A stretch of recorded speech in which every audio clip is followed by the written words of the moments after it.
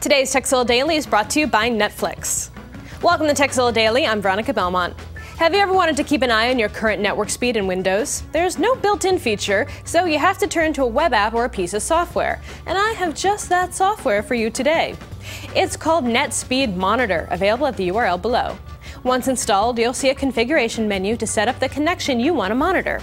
Once that's set, you'll see both your current up and down speeds in your taskbar, making it easy for you to keep an eye on it at all times. So if you need an easy way to make sure some nefarious app isn't using your connection when you're not looking, try NetSpeed Monitor today. Now, if you have a tip you'd like to share with the world, let us know. Email us at tekzilla at revision3.com. And don't forget tekzilla.com. It's the place to find more tips, tricks, product reviews, and how-tos. Netflix streams TV episodes and movies directly to your home, saving you time and money.